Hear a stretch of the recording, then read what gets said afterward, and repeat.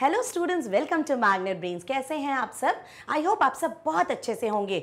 So my name is Neha Verma from kindergarten so students आज हम फिर अपनी पंचतंत्र की कहानी की सीरीज़ में आपके लिए एक और कहानी लेकर आए हैं, जिसका नाम है ग्वालिन का सपना। सो so स्टूडेंट्स ये जो कहानी है ये बहुत ही मज़ेदार भी है और इस कहानी से हमें बहुत कुछ सीखने को भी मिलेगा। तो सबसे पहले स्टूडेंट्स ग्वालिन कौन होती है?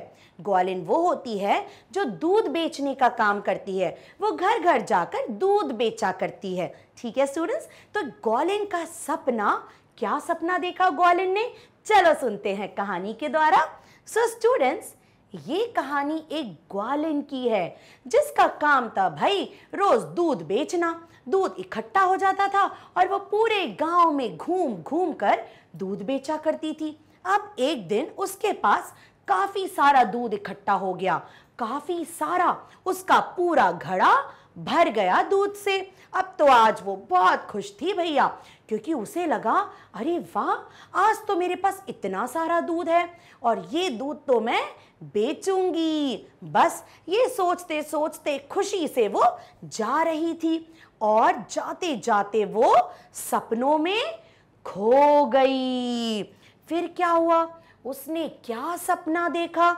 उसने सपना देखा कि मेरे पास तो बहुत दूध है, मैं सारा दूध बेच दूँगी, उससे बहुत सारे पैसे कमाऊँगी। है ना? उसने देखा कि मैं तो बहुत सारे पैसे कमाऊँगी। उसके बाद उसने देखा, इन पैसों को बेचकर मैं बहुत सारे अंडे खरीदूँगी। है ना? उसने दूध बेचा, उसके बाद उसने सोचा जो पैसे आएँगे उनसे वो अंडे खरीदेगी। अब अंडे भी आ जाएँगे उसके पास।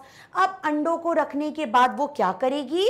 उसके बाद अंडों में से निकलेंगी मुर्गियाँ। क्या निकलेंगी? अंडे जब फूटते हैं तो चूजे निकलते हैं। चूजे बड़े होके क्या बन जाते हैं स्टूडेंट्स मुर्गियाँ। तो अंडों में से मुर्गियाँ बन जाएँगी और बहुत सारे अंडों में से बहुत सारी मुर्गियाँ निकलेंगी।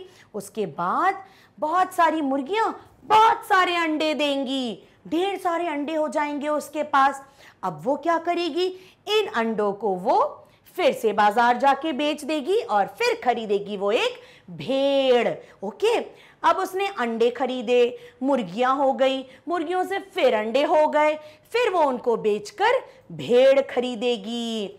स्टूडेंट्स ये सब वो सपना देख रही थी। ठीक है, वो जाए जा रही थी और सपने में खो गई थी। अब उसने सोचा कि भेड़ भी आ गई उसके सपने में।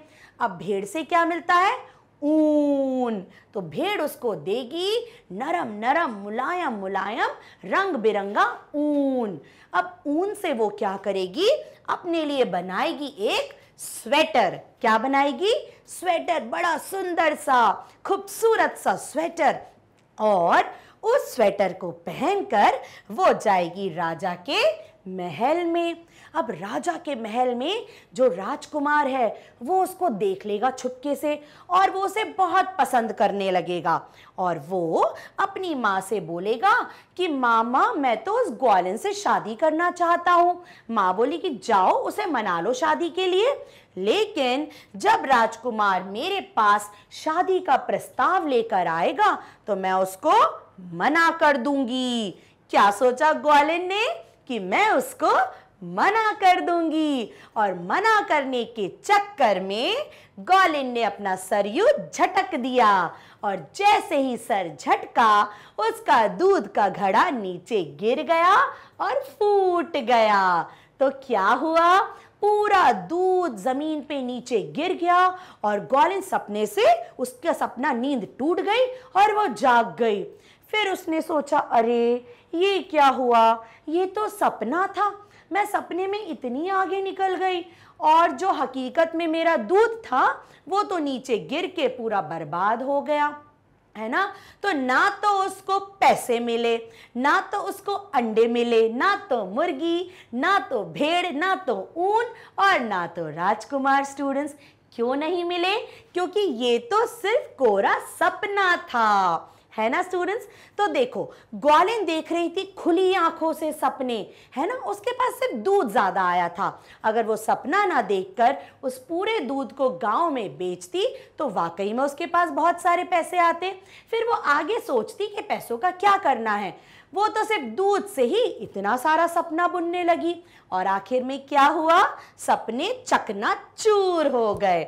है ना स्टूडेंट्स तो थी ना मज़ेदार कहानी। है ना? तो इसीलिए कहते हैं स्टूडेंट्स कभी भी खुली आँखों से सपना नहीं देखना चाहिए। क्यों? देखिए, इस कहानी से हमने एक और क्या चीज़ सीखी? हमें खुली आँखों से सपने नहीं देखना चाहिए, बल्कि सफलता पाने के लिए मेहनत करनी चाहिए। तो समझे आप? गॉलिन ने क्या किया? खुली आँखों से सपना देखा, लेकिन क्या उसको सफलता मिली? बिल्कुल नहीं। अगर इसकी जगह वो मेहनत करती घर घर जाकर दूध बेचती तो ज़रूर उसके सपने पूरे हो सकते थे। है ना स्टूडेंट्स तो बस कहानी को एंजॉय करिए और कहानी से जो हमने सीखा है, उसको हमेशा याद रखिए कि सपना कभी मत देखो, सपना पूरा करने के लिए मेहनत करो। ओके स्टूडेंट्स तो ये थी हमारी पंचतंत्र की कहानी, ग्वालिन का सपना। ओके स्टूडेंट्स तो ये कहानी आपको मिल जाएगी स्टूडेंट्स हमारी मैग्नेट ब्रेन्स की वेबसाइट पर। आप गूगल करिए, हमारी वेबसाइट ओपन होगी। यहाँ पे आप किंडर में जाइए स्टूडेंट्स या एक्स्ट्रा लर्निंग में जाइए।